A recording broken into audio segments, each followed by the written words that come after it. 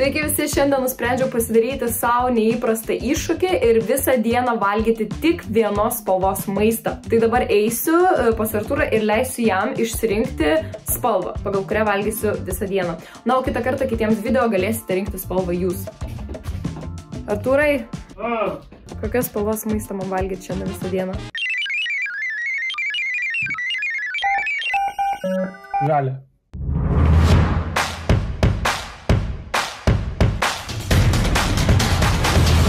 Taip pusryčiauti šiandien planavau namuose, bet kadangi aš dabar turiu valgyti žalius pusryčius, oh my god, reikia sugalvoti, ką valgyti.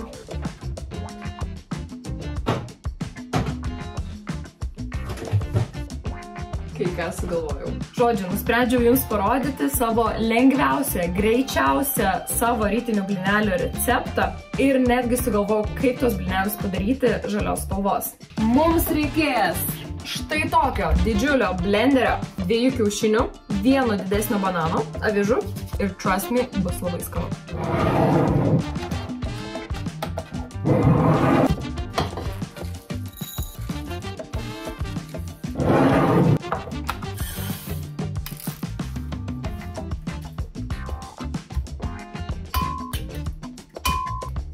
Tai tam, kad mano blyneliai būtų žali, aš tiesiog įdėsiu špinato. Ir svarbiausia, kad špinato skonis blyneliuose visiškai nesijaus, bet jie bus žali.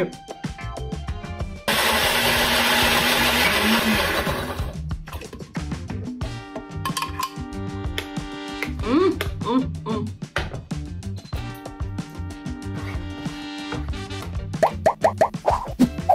Štai tokie nerealų žali blyneliai man gavosi. Dar įdėsim šiek tiek jogurto. Voila. Aum, um, om. Mm, mm, mm, mm. Blyneliai labai skanus, špinato visiškai nesijaučia. Man atrodo, aš ateityje stengsiuosi visada dėti špinatus į šitus blynelius, nes why not? Tu vitaminų įdedi, bet skonis nuo to nesikeičia. Su pusryčiais susitvarkiau. Nu ir ką jau valgysi? Žalioji pasta. Aš ir neturiu kitokio pasirinkimo, bet čia yra skaniausia pasta pasaulyje. Mai nieko neužsakai. Tai, tai kodėl aš irgi valgau žalią maistą? Nieko nesuprantu.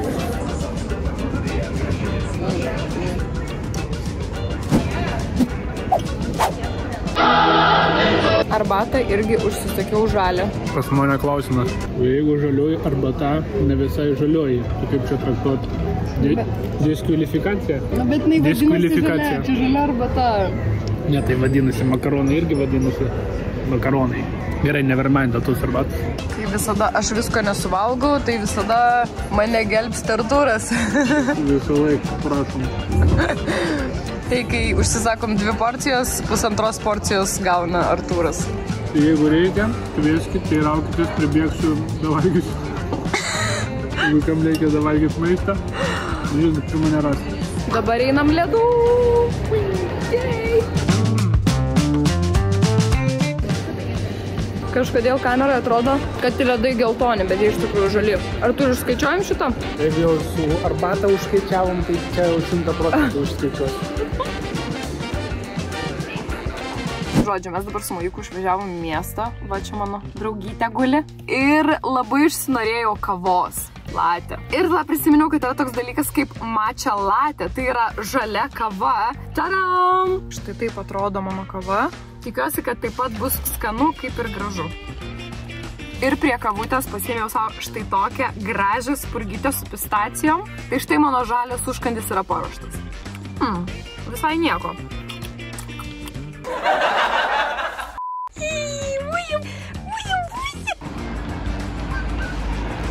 Kas čia sėdi? Turiu štai čia savo mėgstamiausią žalę kramtomąją gumą. Dabar aš ją iššakošiu. Mm, mm. Man šitą kramtomą gumą yra skaniausia. No, no, no, no.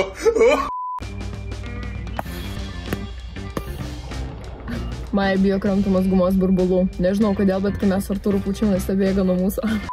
Norėjo daugiau pildyk ir populiarių lietuviškų muzikos grupių kurtų ausinių. Pildyk išgirdo jūsų prašymus ir pasipildė ausinių atsargas. Kad nereikėtų pirkti už dvigubą kainą skelbimų portaluose. Eikite pildyk.lt ir pasinaudokit nerealiai gerą kainą, nerealiai kitoms stilingoms ausinėms. Na ką, atėjo laikas vakarieniai ir kadangi šiandien jau ir taip privalgiau nemažai kalorijų, nusprendžiau padaryti tokią lengvą vakarienę, tai darysiu salotas.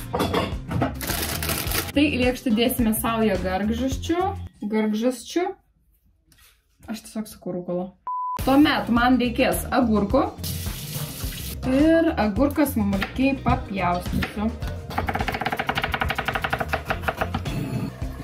Dar vienas žalis ingredientas prie mano salotų - avokadas. Gerai, štai taip turiu tokias salotas ir turiu buteliuką jaritos gėrimo. Mmm, greipfruto skonio.